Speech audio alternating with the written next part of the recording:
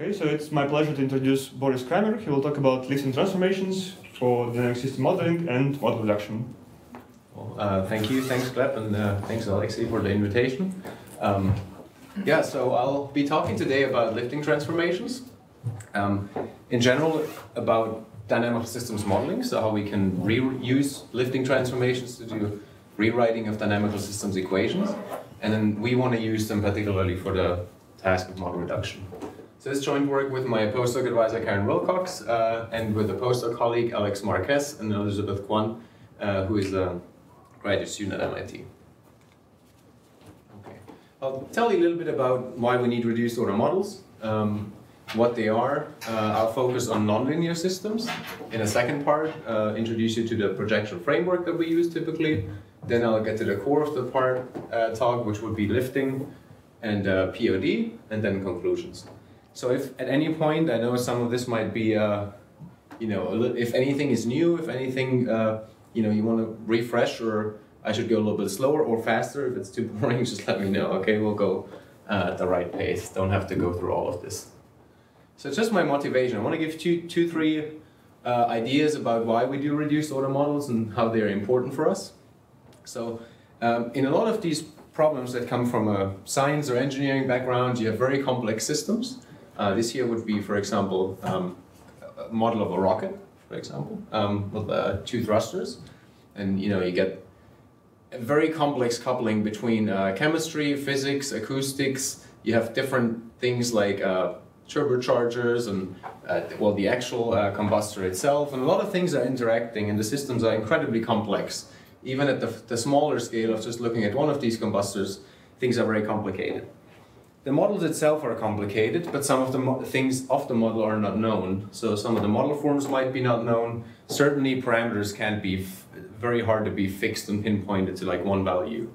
So we do have to account for a lot of these applications and uh, to the uncertainties that we have in parameters and surrounding conditions or input conditions.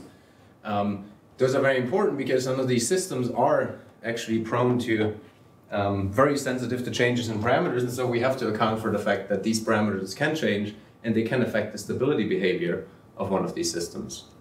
Um, so that's uncertainty quantification. In design, if I want to design any new product, oftentimes I have to explore a design space, different geometries, different configurations, if I want to do this, and but the model that I'm running is a model that needs six weeks on the supercomputer, I have a very hard time doing a design exploration. So therefore, cheaper reduced, cheaper models are needed in order for at the early design stages of any product, especially in the in the aerospace industry, where the flow physics are very complex and require high fidelities or require um, very detailed simulation. Uh, and then in control, Control is a very different uh, topic in a sense, because control is the, in these first two areas, in design and uncertainty quantification, you can typically have a larger computational budget. You might have access to some larger computers, you can run them for a longer time, design doesn't have, have to happen overnight, but control is something that needs to be very quick. Uh, if you wanna, if you change your thermostat here, you want to feel more comfortable in the room in three or five minutes. Uh, if you change anything, if you, you know, yeah, you, push the brake in the car, you know, everything goes through a control system, you have right, it should happen in milliseconds. So in control, you actually, the reason we want reduced order models in a control application is because the computational resources that are in the systems might be small. So you can't have a very large problem to, to execute. One of them that I've worked on before was control of, uh, or air conditioning systems and how they would control thermal comfort in a room. This is a very recent application, so I'm not, we, we haven't solved any of that yet, but it's the motivation from, for much of my work at the moment. So it's a current project that where we're looking at uh, ultimately getting to the part of getting fast models for some of these combustion simulations.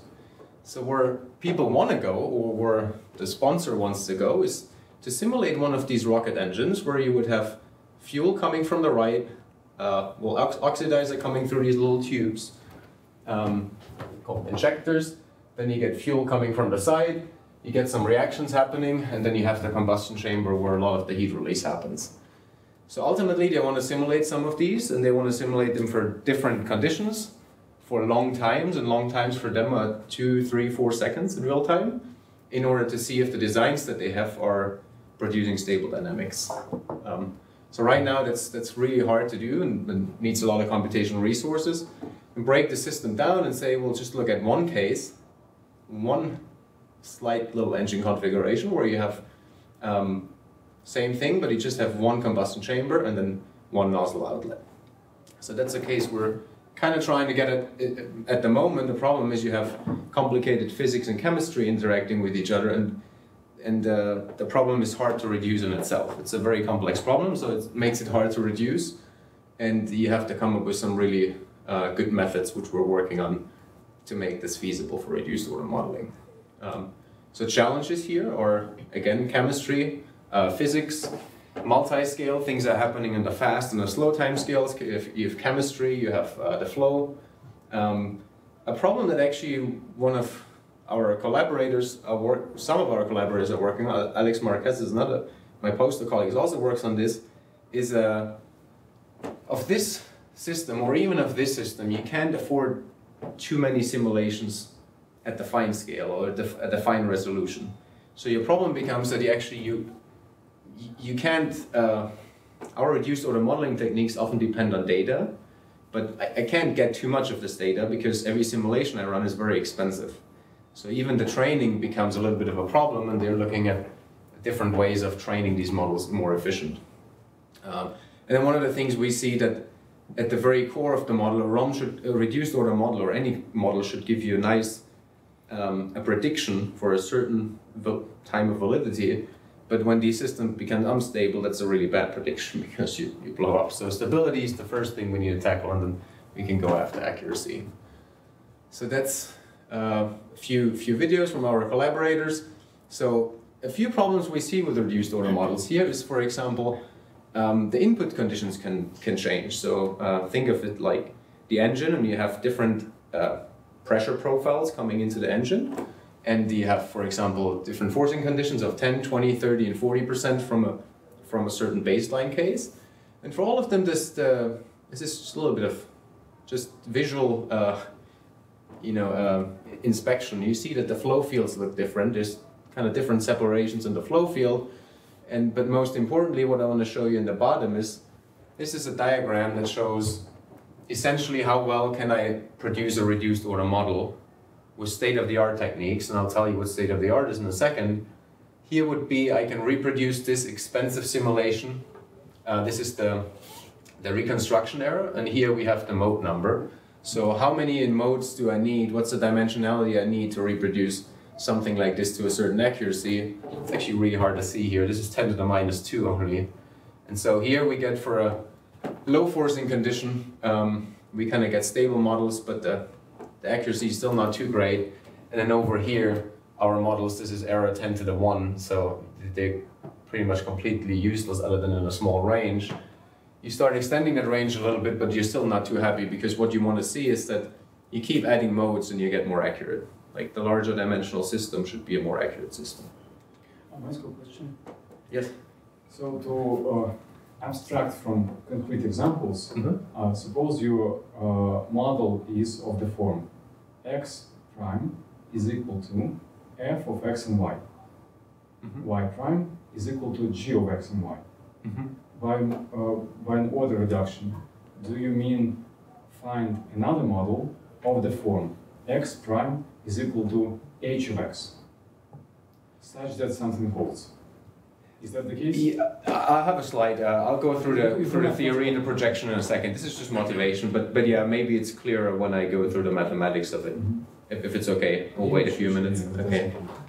Um, and then the other case we have here, uh, I mean, this is just different predictions. Training becomes a, a problem. So when we um, we train a system, we collect data at a certain input condition, and then we try to use it when the system operates slightly off that condition, meaning somewhere between 2 and 8%, and we train the system at 4% forcing.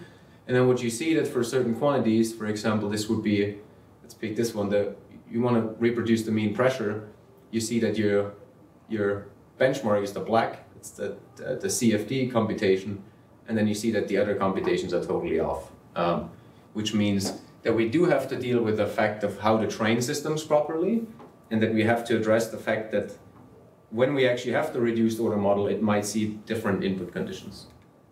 Uh, Uh, Could you clarify training? Training, you mentioned training. yes, it's gonna. How do you explain There's, there's gonna be a yeah. This is just kind of like the overall setting the stage, and then we'll have a, a, a, a few examples certainly. So the big questions for us is uh, I want to get robust, stable, and efficient reduced order models for these strongly nonlinear systems, and there's some questions associated that, that we want to address long term. How can we deal with inputs and training? And that will become clear in the next slide, hopefully. Um, computational inefficiencies are there that we have to address, uh, and then stability, I think, is a is a has been pointed out as a, as a main problem in these areas. So now we get into how do we get these models. Sorry, I skipped that part. Um, to do a little bit of justice to the field, there's a lot of different methods. I'll focus on one today. Um, but for nonlinear reduced order models, if you have a high dimensional problem, think of a finite element discretization, a computational code, you want to reduce it, the system is nonlinear, there's a few methods out there. Kind of the, the, the bell cow at the moment is proper orthogonal decomposition, it's been around since the 60s, and um, that has really given us a lot of good results and a lot of simulation and control studies. Um, but there's also inherent limitations of, of the problem that uh, of the method or of the reducibility itself. It's dynamic mode decomposition, which is I would call a fully data-driven method. You only give it data from simulations, and you come up with a dynamical system that matches the data, in some sense. And then there's two methods that I was actually explaining a little bit before.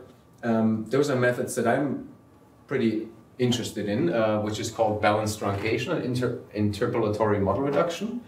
And those look at the dynamical system from a little bit of a different perspective.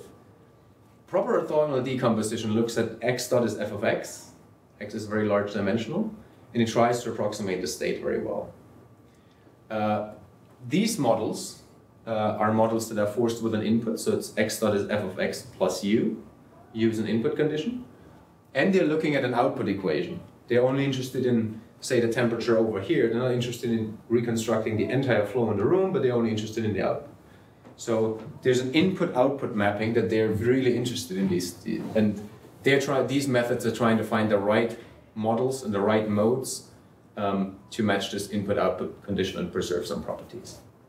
And there's been a lot of work, I think, in the last 20, 30 years in model reduction.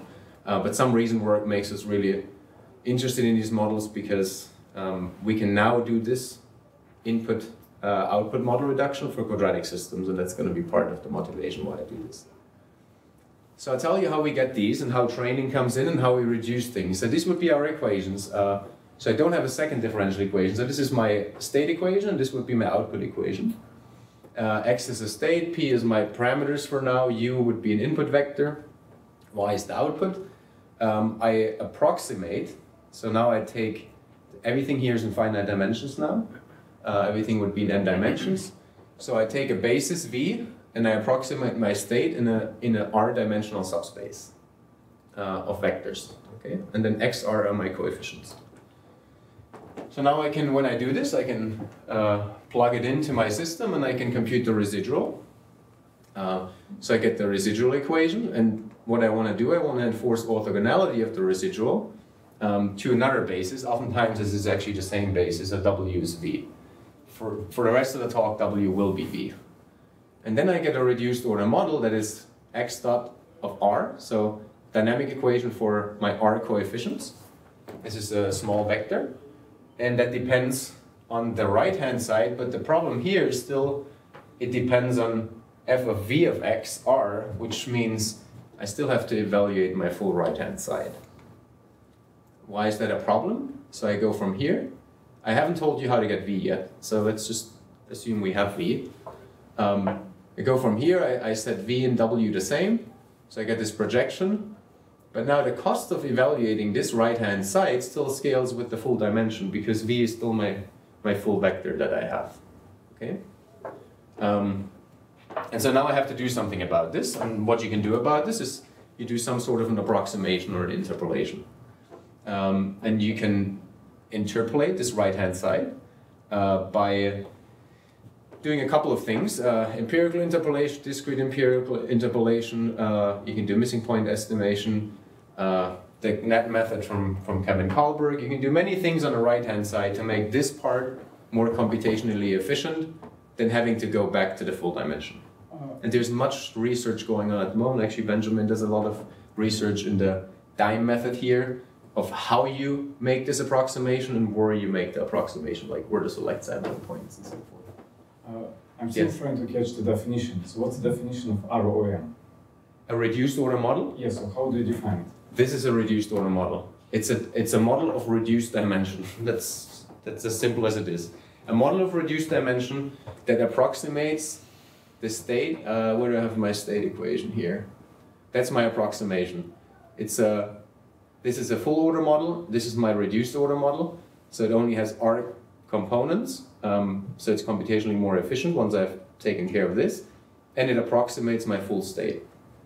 And how well you approximate this, this depends on which method you want to use. So if you write, are to write a definition, so say for every V, this Yeah. is a uh, reduced order model. So V is anything, you can, you're free to choose the V. Yeah. Yeah. So for, for every V, this will be called a reduced order model. Exactly. Okay. Now it can be, I mean, there's still a good and a bad reduced order model. You can choose a terrible V, and your reduced order model doesn't predict the full dimensional X in any sense, right? So then you talk about accuracy. You say, how accurate does my reduced order model have to be? And then you give bounds on how accurate X is approximated by VXR. That would be a, you say a re, that's an accurate reduced order model. Yeah. So what are the properties that, um, that the reduced model must preserve?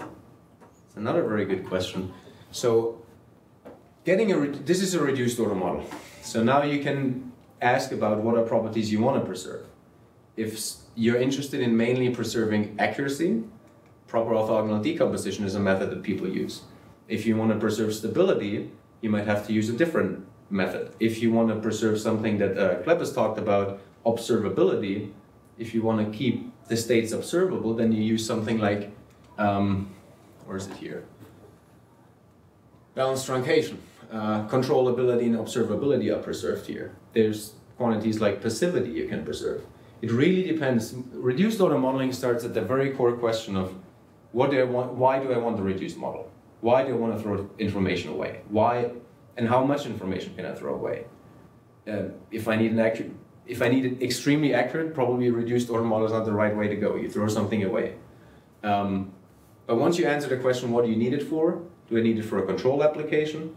Do I need it for long-term prediction, for a design study, for some sort of a design exploration? Then you can talk about which method you want to use. I would say, yeah. But in, uh, would the goal of that reduction be mainly just get rid of some of the variables or not? Um, No, substitute. You could. I mean, Our reduction is mostly a, I mean, a lot of this is projection based. So you have a finite element system, you have a PDE, you discretize in finite elements. Now, finite elements are very, a finite element basis function knows nothing about your system, right? So the simplest finite element basis function is the hat function, right? It knows nothing about your system. It's a generic uh, basis that you use, and it's a local basis. So you discretize your model with a million of these finite element basis functions, right?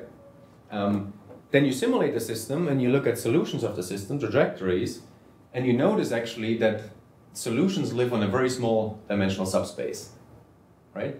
For example, if the system converges to an attractor, then you see you have low dimensional behavior. And then you make a switch of basis. So then you go, I'll just really quick. And then you say, we're going from here to a, mostly you go to a global mode, so this would be the finite element method. And then you go to something, this is just a 1D example, you say, okay, now we're going to a global mode. If I use a few of those, they have different shapes, you know, one can have, this could be the first mode, and this is the second mode. If I use 10 of those modes, uh, then I can approximate my system up to a certain accuracy. People have done that, you can approximate in different bases, and the basis we get comes from data in general. Or it can come from the matrices, I mean, it depends on what you're doing. But so that's where the reduction comes in. We use a basis that knows something about the system, whereas finite element doesn't know anything about the system, right? You have beautiful convergence guarantee, but you're not getting a low order model. Like getting a 10 dimensional finite element model is not accurate. roughly speaking, to get the idea. Did that answer some of it? should we? Should we? Yeah, let's continue. Let, us see. Uh, okay. All right. So I think that's where I was at. Um, so now you want to do, you want to approximate your right-hand side. You want to get a more efficient evaluation of your right-hand side so that your reduced model, the main part is it needs to be faster to evaluate. Um, and the way you would be, actually, did I skip over the, no, I didn't. So the, the parameters are now absorbed into x, is that correct? Uh, to, so You- you x are your state No, you had a p before, right? Parameters. Yes. So now it's Ah. absorbed into x. No, that's just a typo. I just left the parameters out now. Oh, okay. Okay.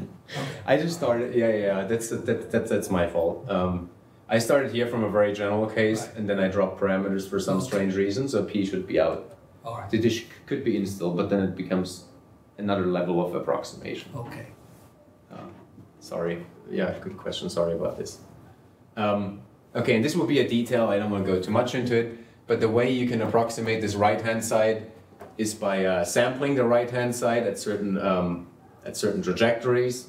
So you, you sample the right-hand side, your your f at solutions that you've already computed of this. So you solve the system, you get x. You compute snapshots of f of x. You do a POD on this one, and then there's a way to approximate this right-hand side. Okay, and the way I want to just maybe focus on the bigger picture. The way to do that um, there's, there's a method that gets you this, it's called discrete empirical interpolation, it would give you a selection operator, P, that says only evaluate this F term at a few points. Um, some of the challenges we've seen here, there's very different ways of addressing these challenges, is that when you do the standard methods, um, state of the art at the moment, um, you see that you need a lot of interpolation points, meaning your, compute, your reduced order model has only R states, but it's still very expensive to compute. And uh, the more approximations you introduce, so now you approximate this right-hand side with another term, the more approximations you introduce, maybe you're losing some of the, it becomes diffi- more difficult to analyze a right-hand side. Okay, and now I'll skip over this a little bit uh, because those are details about reduced order modeling. So now I want to show you what, um, what we'll be focusing on in this talk. So the linear model, the way you write down a linear model typically is like you have a mass matrix, you have in your, your states, you have a linear uh, part, which would be discretization, say of a diffusion, for example, a convection, uh, A, and then you have your linear input. Uh, and you would write a reduced order model that has same form. And once you have these V matrices, um, you can project essentially your system matrix, your input matrix, and your mass matrix. So everything is projected and this is easy to compute. Quadratic model on the right hand side, we write it, I mean this is just a notation, you can, you can pick how you want to write a quadratic model. Uh, here it's written uh, as a kind of matricized tensor H, and then you have a Kronecker product between uh, the, the, your state. Um, and the nice, the beauty about these quadratic models is, and actually about any polynomial model, is that you can still pre-compute the right-hand side. So if you do a Galerkin projection, there's a nice property about the Kronecker product that you can use. You still get an h hat that can be pre-computed once you have your basis.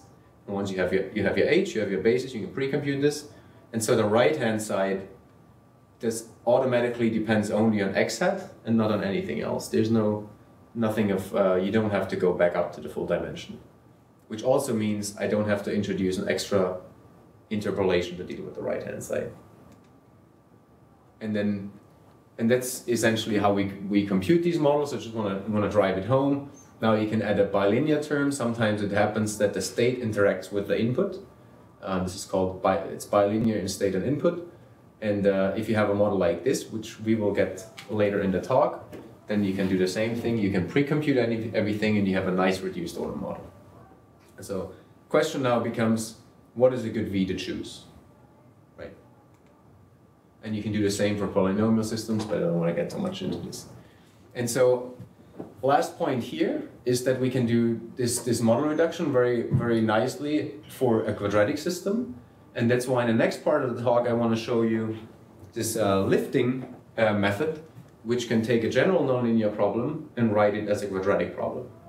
And the reason we do this, reason we're doing this, the reason we're blowing up a dimension is because quadratic problems we can very well reduce. Like that's the motivation behind it. So if you so let's go to lifting. Uh, we're trying to, and I think you're doing something similar, maybe the, the other direction, uh, with eliminating variables. We're kind of adding variables. so, so in a sense, bear with me. Uh, and there's a reason we're doing this. Becomes simpler. Huh? It becomes simpler, yeah. becomes simpler to reduce. Yeah. So, um, so what we want to do, we have a general system uh, with a general right-hand side. Um, and I want to write this system with original coordinates x tilde into a new system where I have different coordinates now x, uh, but the right hand side will be polynomial. And let's just assume it's polynomial on x and we still have a linear input. And my new state now contains the old state, but a bunch of added states that depend on my old state, x tilde, okay? And I have to add L of these, and I don't know what L is, that's an open question, okay? Um, and that's something I'd really, you know, if you have any thoughts on this, uh, we'll, we'll see in a, a couple of slides. Maybe we can talk about this again. Like, what's what's the, the best, what's the best transformation that takes a general nonlinear system into a quadratic system, and is there a minimal lifting transformation? That's a question we're very very interested in if we can find a solution. Do you want so, a minimal one? Yeah, I believe so. Um, I would like to think a minimal one is good because then you keep your lifted dimensional in check because at the lifted dimensional you have to do reduction. And reduction. Don't you, don't you want that one that you can reduce the most? Yeah, so I want it in quadratic form, but there might be very many forms that make it quadratic, not just one. And if there's many different ways to make it quadratic, I want the one that has the lowest dimension. Okay, we can maybe. We can. Okay. Yeah. Because I thought you want the reduced dimension to be the lowest. So you yes, that's right. Yeah. Well. yeah. Yeah. That's right. Um, the reason I'm thinking right now that I would want the lowest one is because any model reduction in the in that dimension where x dot lives will typically when I do balancing or something will scale with n cubed. Ah, okay. So I don't want to add too many states and then run into the curse. I see. So right now it might not be connected to your reduced. Exactly how I reduced it. Okay. But there might be yeah you're right. Yeah a lot of open questions you'll notice. um, so this is something we started about a year ago, and I think we're, we're still trying to get to the, to the bottom of some of the things. Uh, anyways, I'm trying to convince you that, uh, and, and you know that, that a lot of general models can be rewritten as uh, quadratic models, and therefore, when I speak of quadratic models and model reduction for quadratic models, I actually speak of a way larger class by the virtue of the lifting. And okay. do you have to consider how the quadratic uh, reduction reflects the original, the properties of the original system? Mm -hmm. Yeah, yeah. All things we still have to study. Yeah. I'll give you a few answers in this talk, but not not, uh, not all of them yet. um, but then we think that a quadratic system is uh, easier to study than a general nonlinear system uh, from a stability perspective, accuracy, preserving properties, and so forth. All right simple equation. And like I said, this is now going exactly the opposite what I what I mentioned to you earlier. I have the system, so I have x that is x to the 4, everything is 1d, and I have one input condition, so u of t. Uh, what I want to make, I want to make the system quadratic. So this is a simple exercise. I pick a new variable, w1, it's x squared. I take, pick a second variable, w2 is w1 squared. Uh, I have to add a dynamic, so in the first step, the way I do first, I show you how to add a dynamic equation. So I take the derivative of this one, call it Lie derivative. So you get uh, 2x x dot, plug in x dot what you had before. Well, uh, w1 squared was w2, so you, you write it out, and you have your uh, first, I call it auxiliary dynamics. Do the same with w2. Uh, you can do it, you write it out. Problem is you still notice that your new state now contained x W1 and W2. So you still have a cubic system. Now you introduce one more variable, you introduce xw1. You do w3 dot. Well, you can, you can work it out. And you actually notice that everything now is there's a bilinear interaction between my new state and my input. But then I have quadratic terms. Uh, so I can now say, okay, so I wrote this system of order 4, which I didn't um, later on everything will be higher dimensional. Be a problem. So I wrote it in a system with four different, uh, three auxiliary variables, but the system is quadratic, and the quadratic system I, I, I know how to reduce. Okay, and I think, Gleb, if I understood you correctly, you would go from here to there. That's right. Trying to, with the algorithm, trying to eliminate some of the variables that we don't That's correct. right? Yes, that's what we discussed. Okay.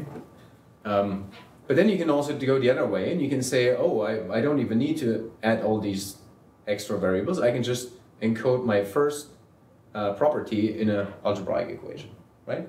And then you have a differential algebraic equation of, of uh, you know, two dimensions essentially. Okay?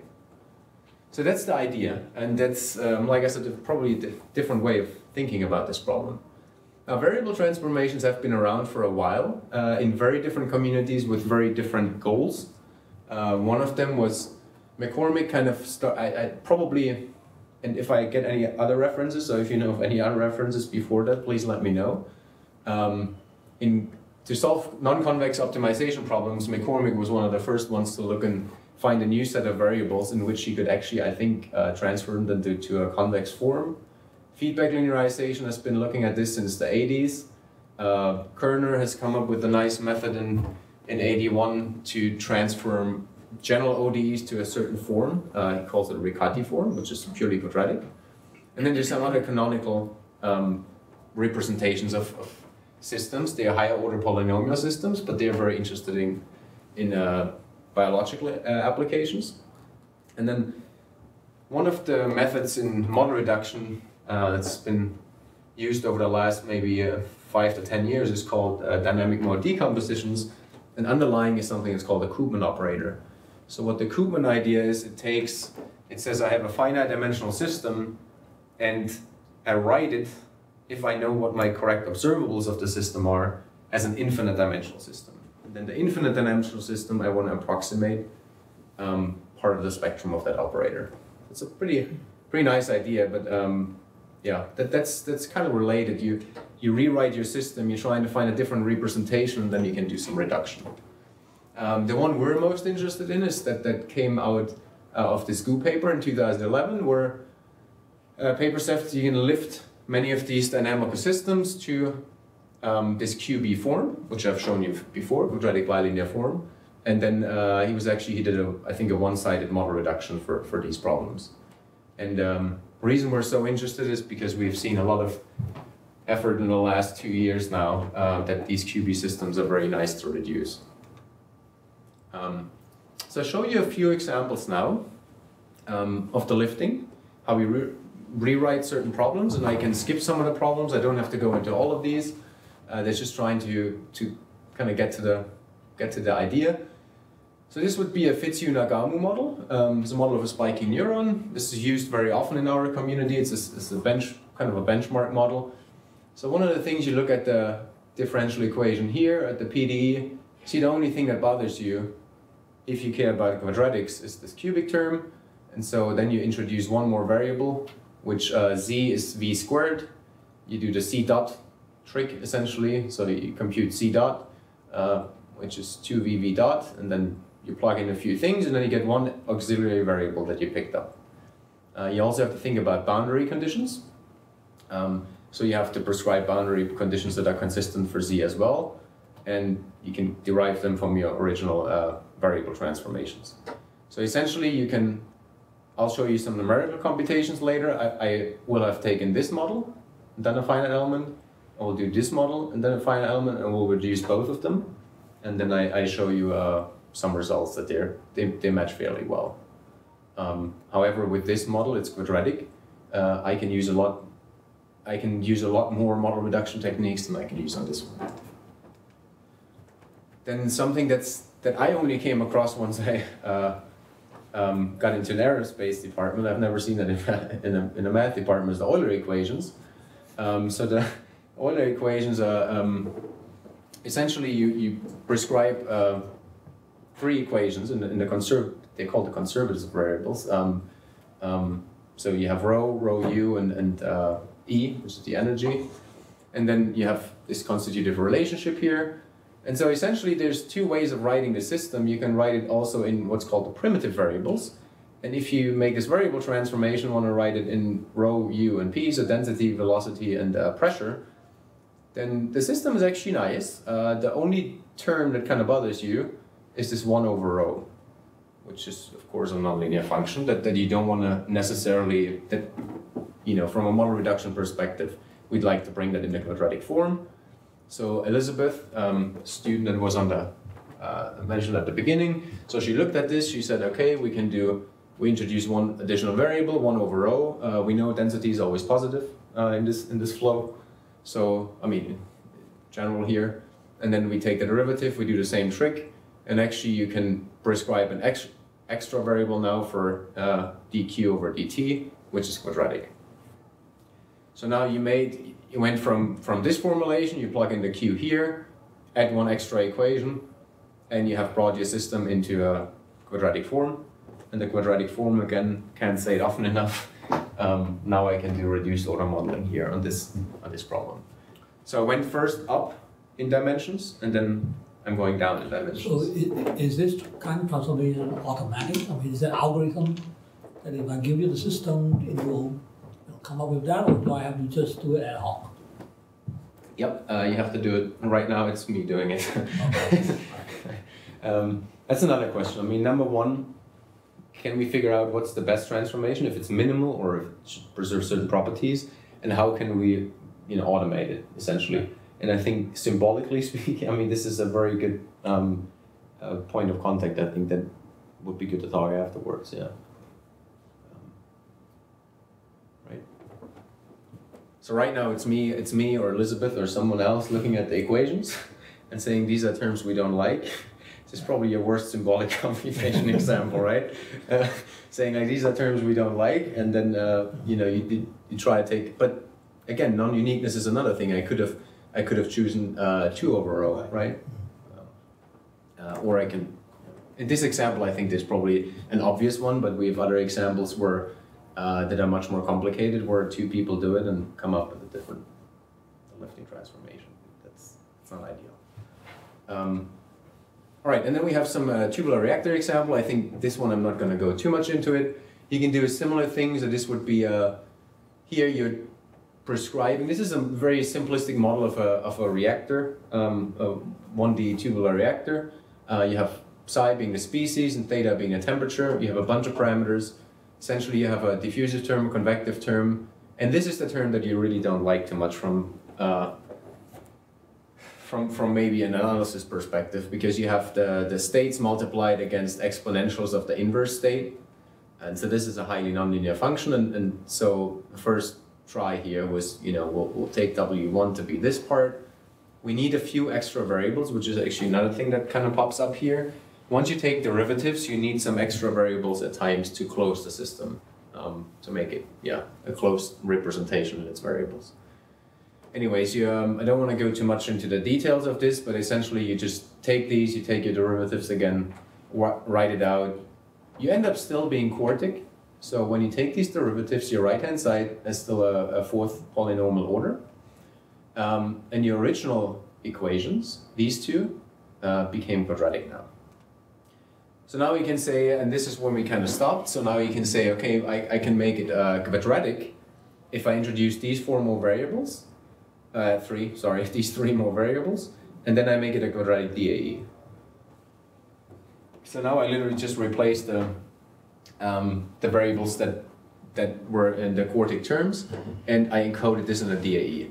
The reason I did a DAE here is because when I kept differentiating these systems, so when I do W4 dot, I kept picking up a higher order again.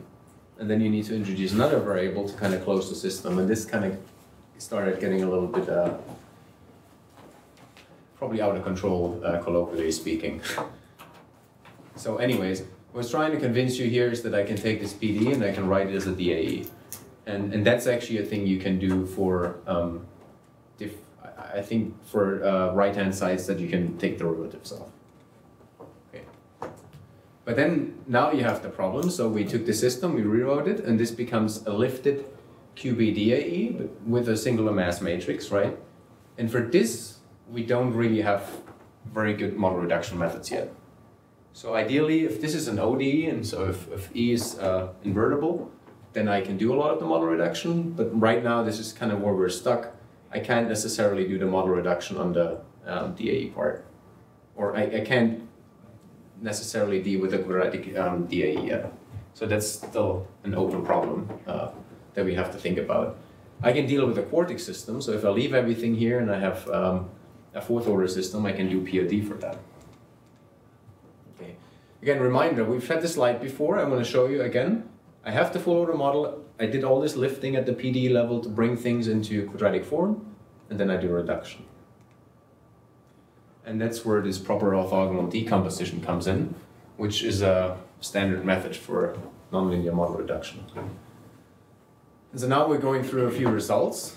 Um, so for the Fitzhugh-Nagumo model that I showed you before, I had uh, two state variables. I added a third one, which was a z equals v squared. Uh, so c equals v squared was my extra state. Um, here, of course, I, I, show something maybe fairly trivial. You look at the singular value decomposition of the snapshot set.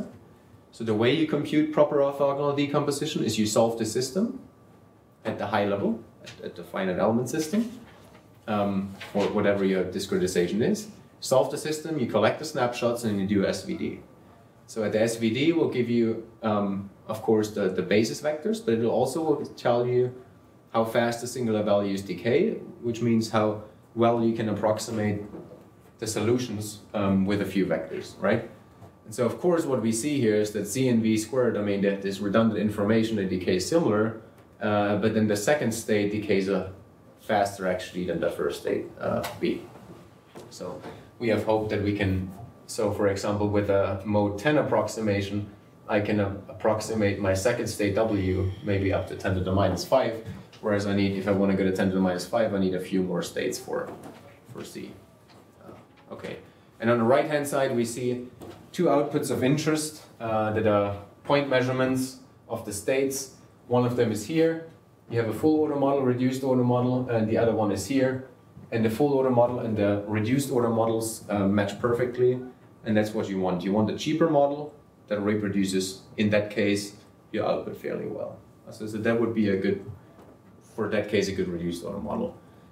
Um, I'll go into that later. Actually, let's let's move. I have a similar slide later, so some of the details. So so here I have uh, the reduced order modeling for Euler, uh, for the Euler system that I showed you. So I had the system, general form.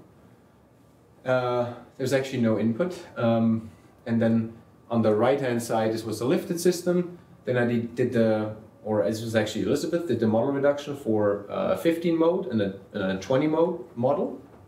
So the full order model will be, uh, I think, a finite difference approximation here, blue lines, and then the reduced order model is the red line. Start seeing as uh, time is running here, start seeing eventually a little bit of a deviation of the blue and the red line. If you add more modes, actually seem to track fairly well. Okay.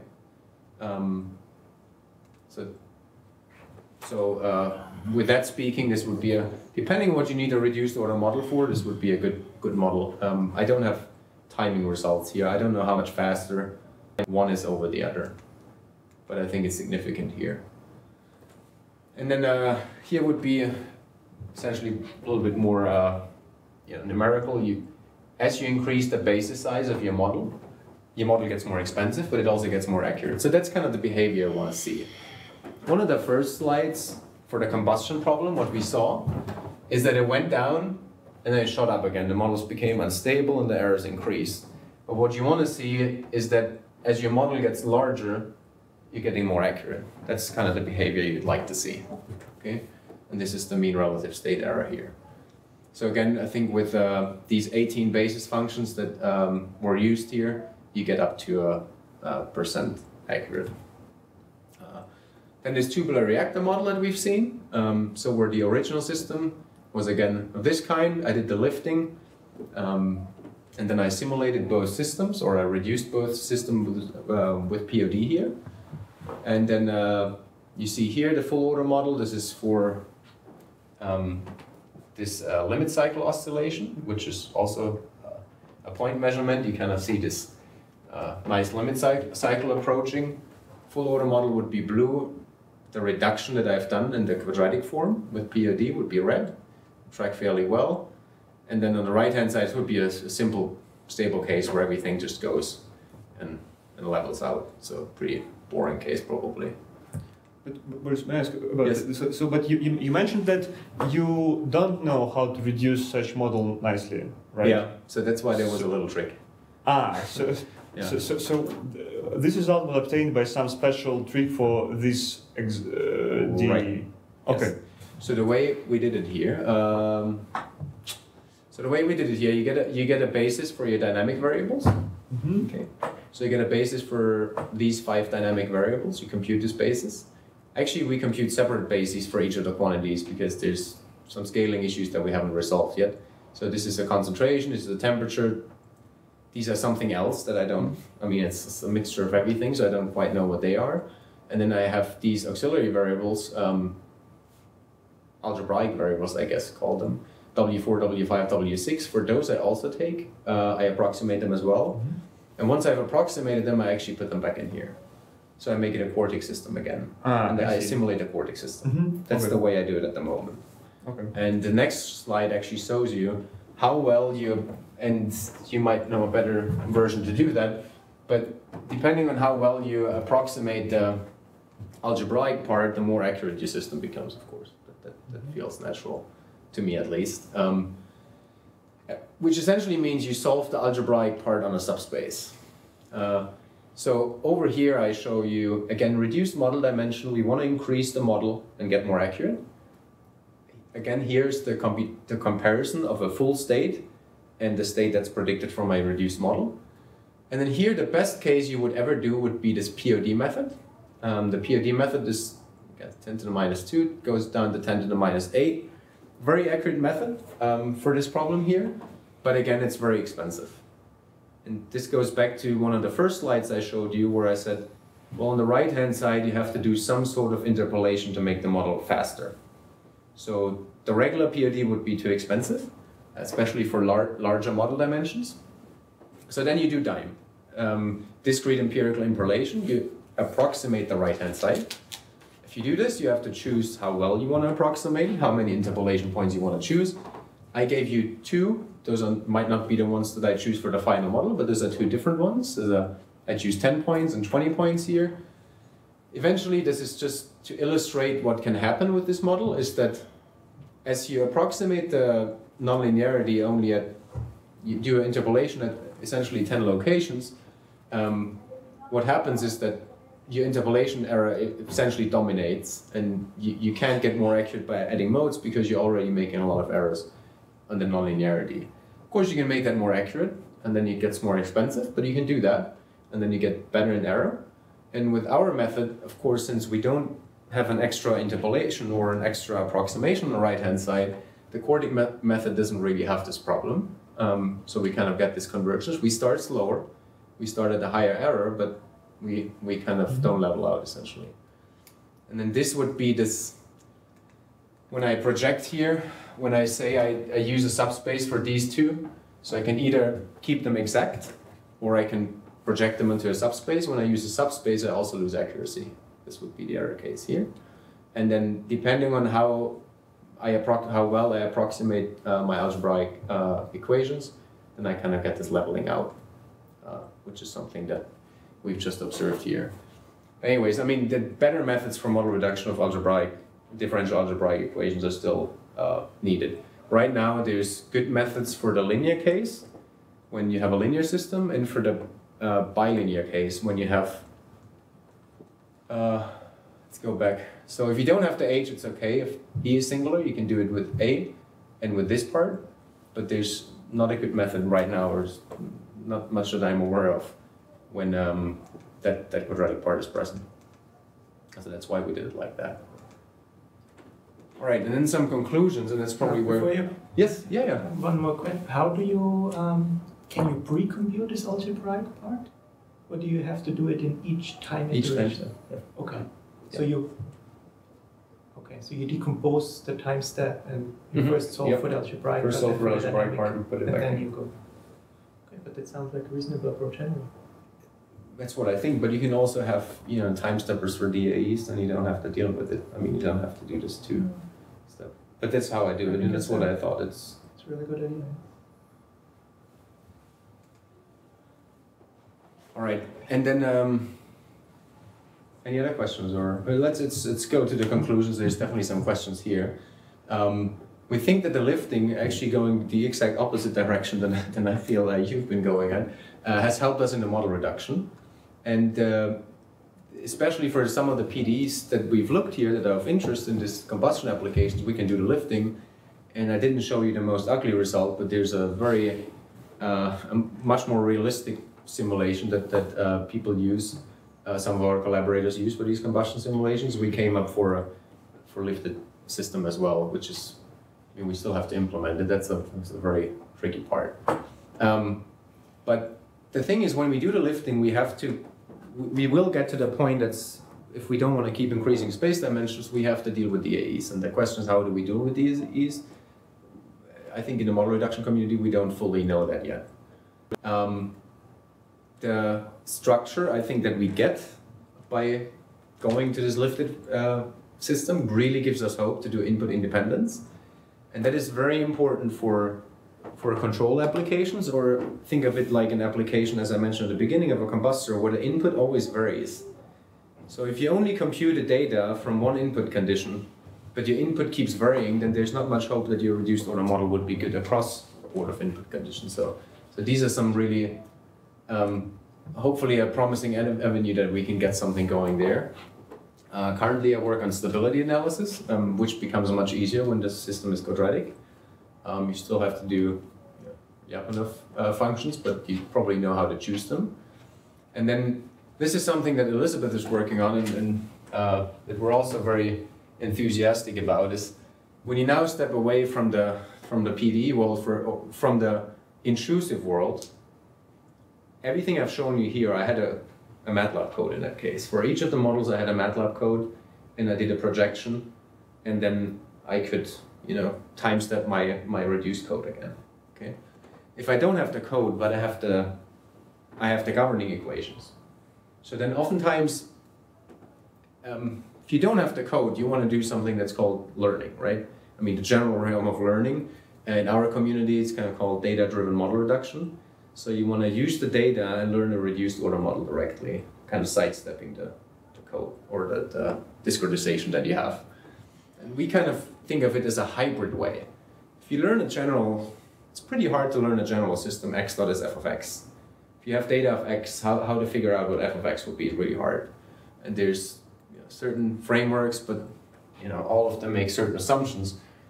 But if we know, say I measure data of x and I might not have the simulation code or it's a legacy code or something that NASA works with and we can't touch, but I have an experiment or I have a code and I know those are the governing equations, right? Then I can do what I did here. I write down equations that make the form quadratic. Then I have my new equations, my new vector x, which was x tilde, w1 of x tilde, w2 new variables. I measure those.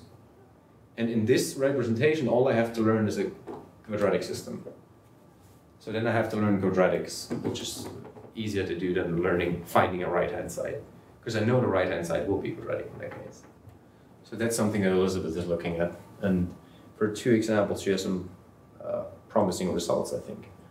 Um, again, I mean, open questions would be here the model reduction of DAE systems. Um, basis representation, we're still thinking about if there would be maybe some different approaches to finding a basis for our lifted system and can elaborate more if that's if that's of interest and then finding the right lifting transformation the right one um, ideally i mean the wish would be an algorithm where i say i want to preserve stability give me a lifting transformation or let's put out a wish you know it's christmas soon right uh, or you know give me the minimal transformation that will do the job if i'm after a mid, smallest one so won't likely answer all of that right now, but this is something where we need to think about what would be good variable transformations that give us structure in the system that we can exploit. And um, preliminary results are up here. And then I want to thank everyone.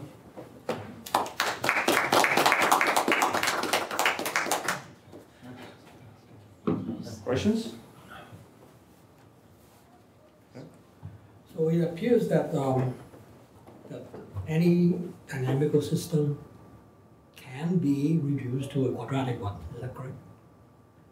Yeah. I mean, I mean, if you just allow yourself to keep adding variables. Yes. Yeah. I mean, unless there's there's non-differentiable terms on the right-hand side. So, for example, if you have think about like Ah, a okay. gamma function, Sure. and you can't do that, then you can't do that, right? But that was shown in that GU paper, 2011, that you can essentially rewrite if you have these differentiable right-hand sides, and you can take these linear derivatives, then you can write it. So, um, in the lifting steps, have you considered, let's say, use, using dimensional analysis to get some aggregate variables and for the substitution? Um, maybe you can elaborate a little bit more on this because we have.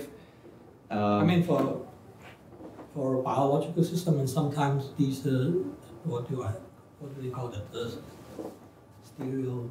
I mean, about the chemical equations, Stoichiometric. stoichiometric, right? Mhm. Um, you can actually get some aggregate variable that controls the behavior of the system. Mhm. The system. Mhm. So could those be good candidates for your substitution, your- your new variables, so to speak? Um, I think so, but I, it feels to me that, that what you're saying um, kind of goes a similar direction. It's also stoichiometrics. You you kind of know something, right? Right. And sure. and that information you're using Right. to get you the variables. Right. In a sense, that's what I'm doing too. I look at the system. I kind of know which one are the, the terms I Right. don't want to have, right? And I rewrite it exactly. sure. Um, But no, but, uh, but at least in stoichiometry, uh, you, you have you, you need to do a little dimensional analysis to come up with those variables, right? yeah, we haven't done that yet. No. And so, would it make sense in your in the system that you're interested in? Maybe it would have, but I would have to. I have to tell you, I would have to look into that because what what they're doing, they're reducing, right? And we're Yeah, they're reducing. We're adding. Sure, sure. so. Well, no. Uh, No? You, you, um, well, okay, I, I will comment more because I haven't done any research on this. this. And what, what about uh, using um, um, spectral analysis of the, of the solution to your system um, to figure out what are um, what are the components that's more important, you can throw them away, things like that. Mhm. So we don't do it with spectral. ana- I mean, we do the singular value decomposition, right? Okay. So we're kind of getting. Maybe that's one slide I should have had. Um, so when we get the, the simulational data um, from the very beginning of the slide, actually, uh, let's move to the very beginning where we had. Uh, sorry, a lot of clicking. I should have been over there. So when we get some of these snapshots and we trace simulations, so we get these these flow fields. Yeah. What we do is we save them at every time step. Um, 'cause time steps might be very small. It's vectorized, right? And then you compute a singular value decomposition of all this data. And that's when you compress. So that's what tells you which of the modes to keep. But the SVD orders the modes by energy. So it looks at the singular value will tell you the kind of the energy decay, right? In, in the in the data. Um, you can also go after the frequency if that's interesting Right. some of these Right. combustion people they're interested in, in keeping the first you know mode that oscillates at. 1600 hertz you know Yeah, that's the so- one so they care ra- about. The ranges you might be interested in. in exactly. so then you would have to go another way but Right. both of them is done. Actually one of the methods i mentioned here is dynamic mode decomposition that goes purely after the frequency. So dynamic mode decomposition both very well known for flows. Pod in the 60s came out looking at energy and dynamic mode decomposition came out probably five ten years ago and 10 years ago actually now and it said well we want to look at one mode and i want to know that that mode oscillates at this frequency Right, right. and that's the way i do the decomposition both is okay um, i think we just have much more intuition with the energy based framework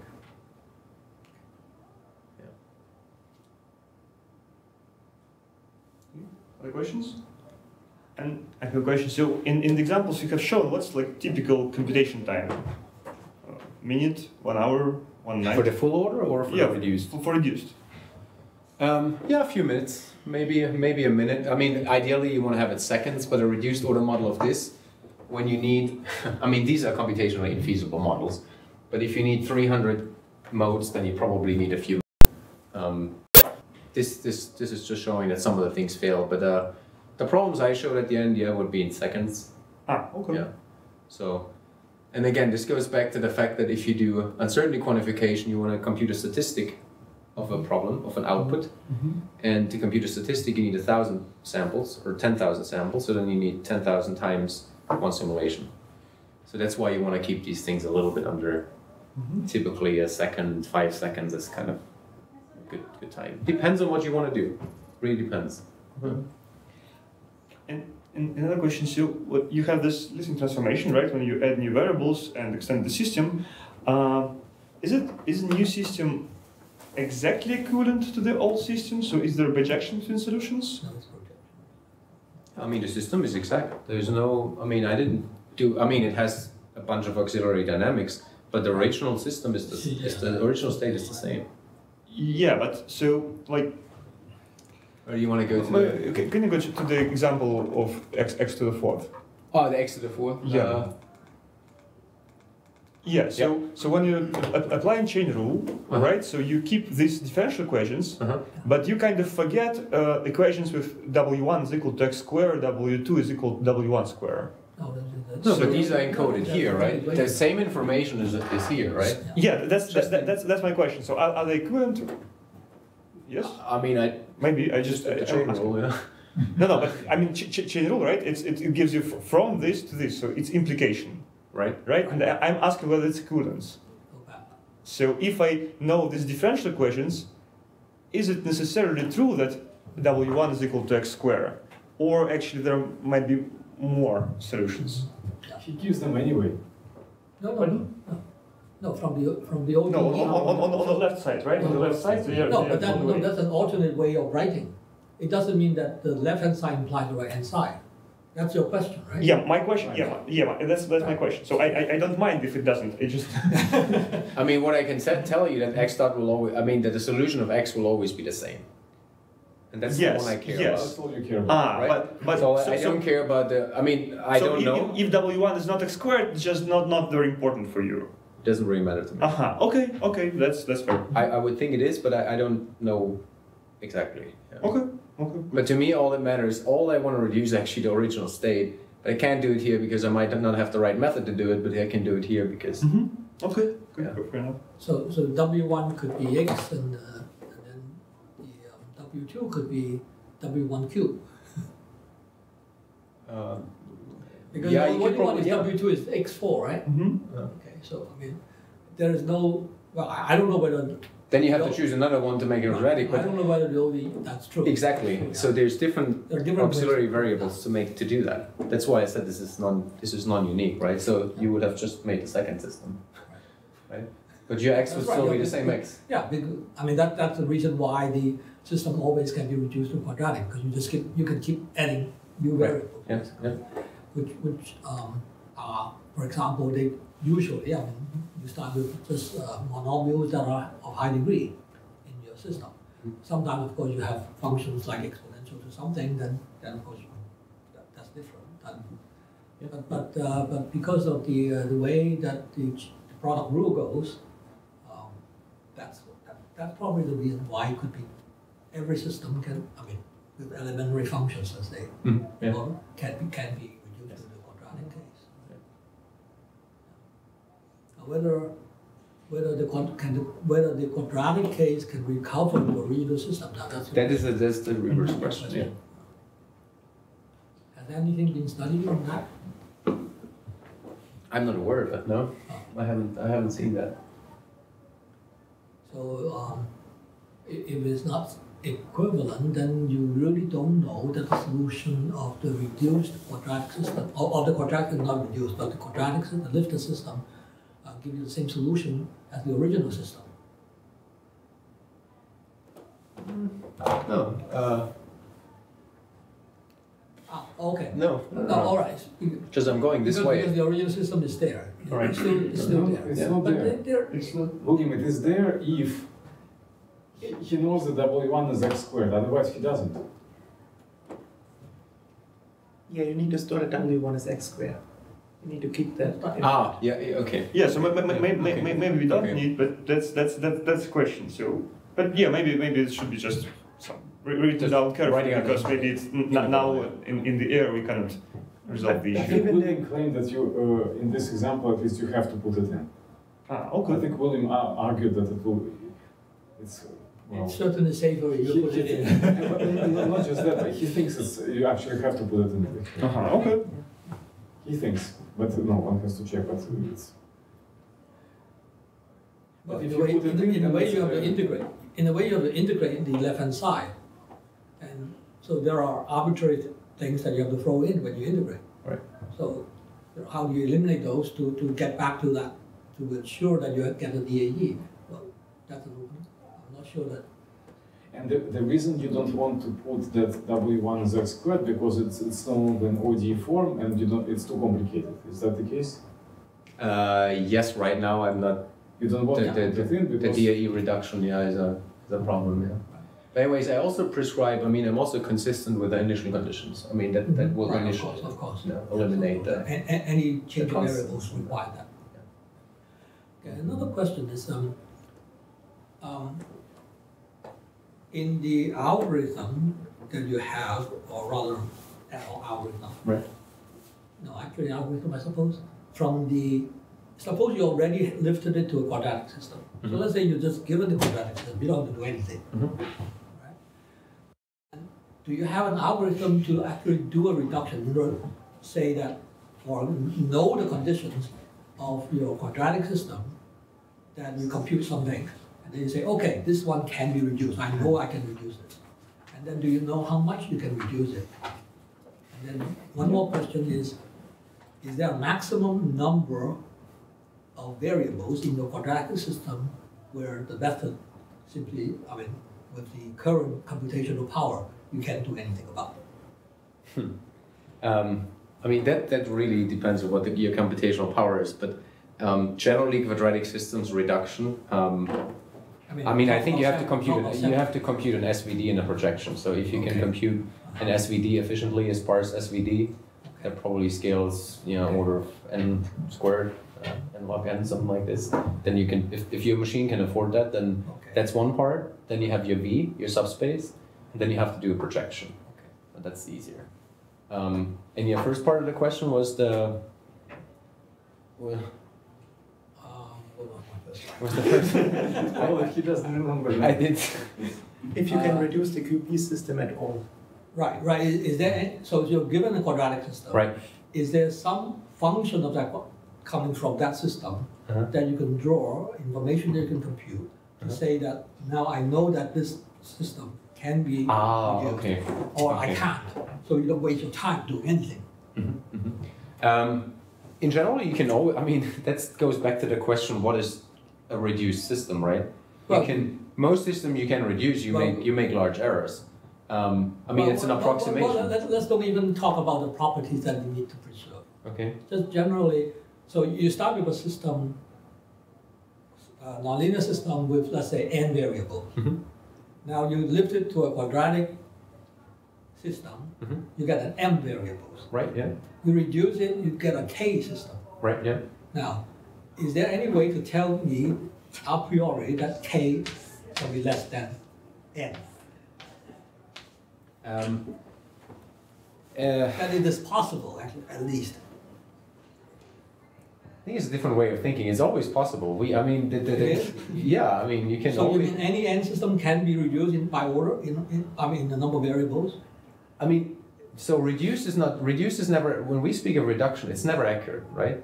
It's No, no, never I- exact. It's never exact. You always the moment you reduce, the Ah, moment for I us see, you go I from see. n to n one. So you, in other You words, you throw one mode you throw away, away things. and the last mode is the last singular value that you kind of like scales a little bit with the last. Always do an approximation. An approximation is you approximate this dynamic in a subspace. Okay, right. So you can say, uh, You I- always I make just, uh, make a give a determinate system that kind of reflects some property of the original system, that will still be a reduction. Exactly. Ah, okay. Thank Yeah, yeah. Other questions? And let's thank speaker again.